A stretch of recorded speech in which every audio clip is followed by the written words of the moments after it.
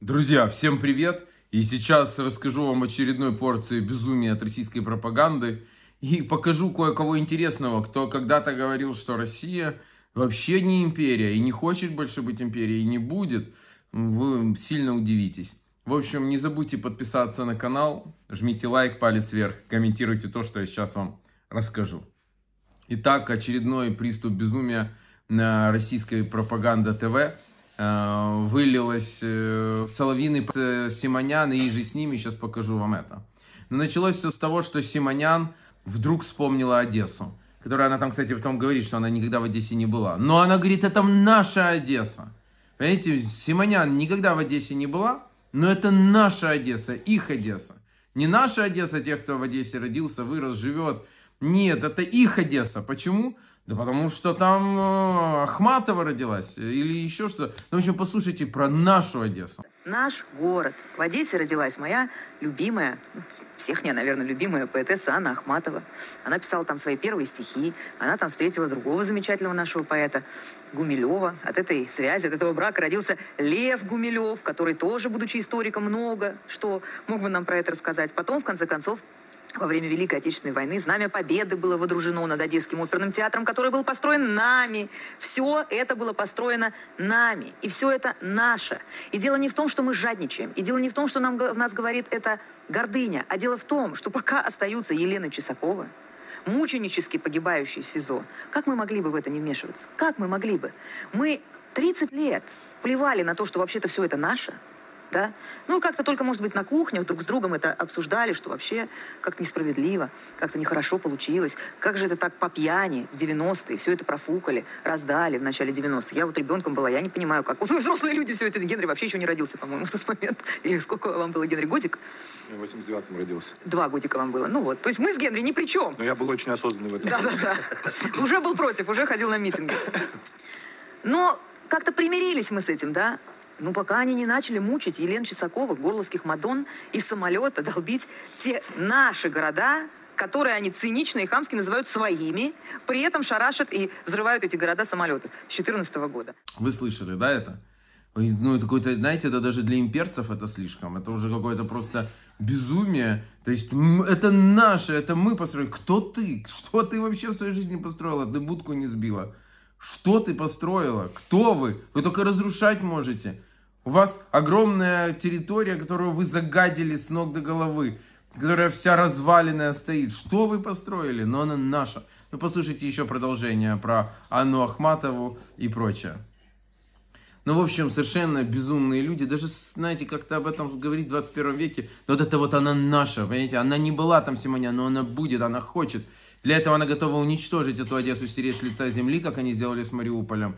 Это не страшно, но потому что лучше пусть руины, но наши вот это.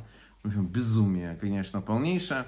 Ну, дальше ей мало Одессы, дальше в целом начинается разговор. Как же так получилось? Ну, конечно, тут же Прибалтика тоже, ну, балтийские страны, тоже наши. Послушайте про эстонский город. Это же не одни, они такие. Вот есть такой эстонский город со смешным названием Палдиский. Палдиский. Что за название такое? То ли Лиский, то ли Пал Палыч, не поймешь. А что такое Палдиский? Палдиский – это Балтийский, а Балтийский – это Балтийский. А Балтийский – это Балтийский порт, который лично начертил Петр I на бумажке, как Екатерина лично послала русского испанца Осипа Дерибаса, Дерибаса строить Одессу. Он, отобрав эту территорию по результатам Северной войны у Швеции, нарисовал Балтийский порт. Построили прекрасный Балтийский порт. Потом его называли просто Балтийский, потом Балтийский, потом Палдийский. Теперь он Палдийский. Провели железную дорогу от этого порта до Санкт-Петербурга, на секундочку. Там встречался Николай II с Вильгельмом, с немецким, с Вильгельмом II э, императором. Чего там только не происходило. А сейчас там ядерный могильник. И знаете, какое там население у этого эстонского города Палтийский? Я посмотрела специально население, я удивилась. 4 тысячи человек. 4 тысячи? Можешь себе 4 тысячи человек, Володь, как ты прекрасно понимаешь, это многоэтажка в Алтуфьево и не самая большая принципе, я имею в виду по количеству. Живут 4 тысячи человек. Это что?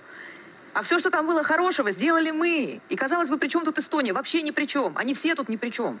Если вы посмотрите население Одессы, еще на момент конца 19 века, подавляющее большинство русские, дальше где-то больше трети населения, евреи, очень много греков, потому что Екатерина пригласила их туда, как когда-то она армян, моих предков, пригласила на Кубань, она пригласила в Одессу греков, потому что единоверцы надо заселять и прочее. И знаете, кого там нет? Украины.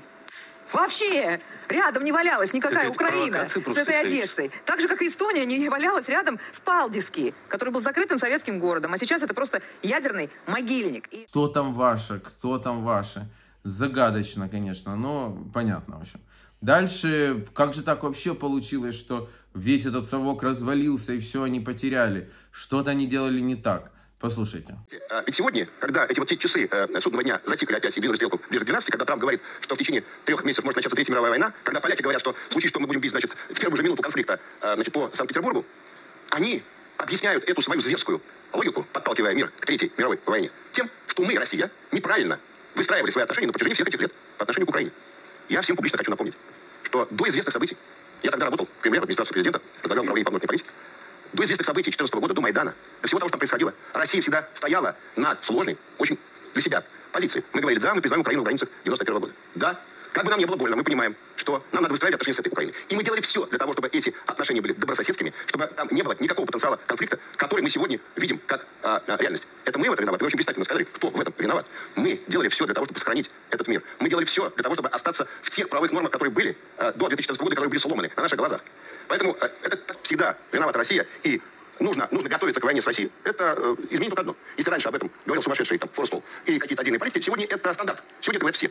Больше того, тут важно другое. Не просто то, что они говорят, что это мы виноваты в том, что происходит в мире. Они говорят, что если мы проиграем на Украине, русские точно пойдут дальше. Они пойдут в Прибалтику, они пойдут в Польшу, а ближе дойдут значит, до Ла-Манша. Это тоже сегодня такая а, общая а, картинка, которая объясняет, что на самом деле происходит. Для меня главное, мы делали все для того, чтобы отношения с Украиной были добрососедскими, братскими. Это была стратегия Российской Федерации. Сломана она была не нами. Я даже напомню еще более драматичный для нас эпизод. Мы 8 лет в рамках Минских соглашений пытались договориться о том, что Украина осталась в тех границах, которые были э, после того, как ушел. Ну, ну так ведь? И ну, кто бывал тогда наДонбассе и э, э, на Луганске, наверняка знают, какая была реакция на это там. Когда нам говорили, вы что творите? Стыдно было приезжать туда. Да, Стыдно нам говорили, вы что, правда хотите нас отдать Украине? Да. Назад? Мы не хотим туда. Ну и дальше размышления соловьиного помета, что вон американцы вложили немного денег и все получили, а они-то не умеют, и надо как-то иначе это делать. А может просто не надо все уничтожать, убивать и всех ненавидеть? Может какой-то мягкой силой? Вы не пробовали мягкой силой свою империю строить? Не, ну ваша империя э, невозможно так. Вы можете только на колени нагнуть это все, что вы можете. В общем, послушайте «Соловьиный помет». Да, например, американцы говорят, да, они вложили 6 миллиардов, получили Майдан, в конечном итоге переформатировали Украину. Мы же до 14 года, с 91 вложили несравнимо большие суммы. И почему-то... Володь, давайте признаем, что мы проиграли. Мы проиграли. Нет, нет, я сейчас... Что, что, разве Я сейчас э, совсем... Мы проиграли, когда отдали Ющенко победу, мы сейчас... возможность второго тура. Мы же сейчас совсем на другом. Здесь же не вопрос даже, кто виноват, а вопрос осознать, в чем была ошибка системная, да? для того, чтобы ее не повторять. А на мой взгляд, системная ошибка состояла в том, что Запад четко и ясно формулирует свой проект.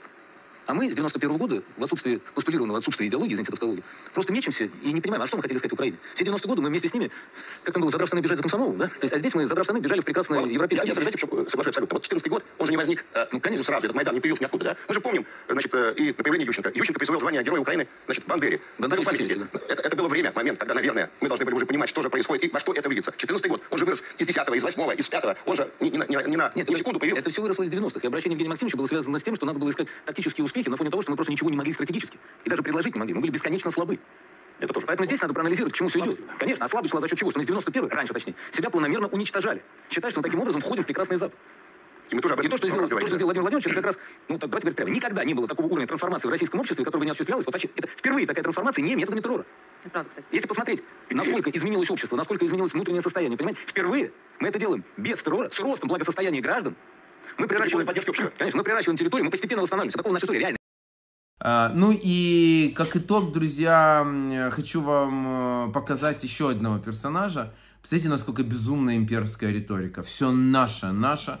А все это э, делает кто? Путин, о котором он там вспоминает соловиный помет. А что же на самом деле Путин э, говорил? Я хочу вам включить 99 год. Друзья, не так на самом деле давно, 25 лет назад, и молодой премьер российский Путин, послушайте, что он говорил, Крым никогда не будем ни у кого забирать, у нас у самих есть проблемы, а вообще Россия больше не империя. Послушайте. Нам не нравится, что Украина хочет вступить в НАТО, мы хотим забрать Крым, или просто мы не можем договориться по деньгам, газ, сахар. В чем главная проблема наша с Украиной, Владимир Владимирович? Во-первых, мы не хотим забрать Крым. Это абсолютная глупость. Спасибо. Если мы начнем э, что-нибудь забирать у кого-нибудь, то обязательно у нас чего-нибудь сами отнимут, или мы что-нибудь потеряем. Во всяком случае, Во всяком случае, мы начнем такой передел на пространствах бывшего Советского Союза, от которого не сможем оправиться никогда. Нас поддерживает очень Да, я Украина. слышу. У нас на территории Российской Федерации только 400 спорных территорий. 400. Я хочу, чтобы все об этом знали. А Вот это во-первых. Во-вторых, сахар, газ – это все-таки второе. Третье, э, значит, поле э, какое-то, на котором можно поспорить. Но поспорить не более того. Главной проблемой, на мой взгляд, является тяжелое имперское наследие России. Все почему-то считают, что Россия осталась империей. А вот сейчас те, кто аплодирует, пусть меня послушают там внимательно. Все считают, что Россия осталась империей и относятся к ней как к империи до сих пор. А это совсем уже давно не так. И вот теперь у нас вот в это все, да, правда безумие. Правда, что, наверное, ну, сложно себе было такое представить. Но имеем то, что имеем. И на итог. Я смотрю российскую пропаганду не только для того, чтобы вам показать, насколько они безумные, но и для того, чтобы делать выводы и понимать ситуацию. И вот они там решили вспомнить о мире, потому что сейчас много разговоров о плане победы Зеленского, о мирном плане Зеленского. Не совсем понятно, что это за план, отдельная история, почему его представляют где угодно, кроме Украины. Но это отдельная история. Так а какой же их позиция? И Соловьиный помет говорит, послушайте. А мы как видим окончание войны? И на него у нас есть вполне четкие ясные ответы, которые нам ясно сказал Верховный Главнокомандующий. 24 февраля были поставлены задачи. До этого они были сформулированы в декабре 2021 года в послании США. После этого летом было подтверждено на совещании в МИД. Мы четко, ясно знаем программу минимум, которую мы должны добиться. Это освобождение наших конституционных земель, нейтральный статус Украины, никакого НАТО, демилитаризация, денацификация. Все четко и ясно сказано. Никогда с этой территории не должно исходить угроза нашей безопасности. А Запад? Запад о чем? Друзья, в общем, ничего у них не поменялось. Все забрать, уничтожить, сделать из Украины вассала, чтобы потом забрать и это. Вот единственный их план, и мы просто должны об этом с вами помнить. Друзья, держим строй.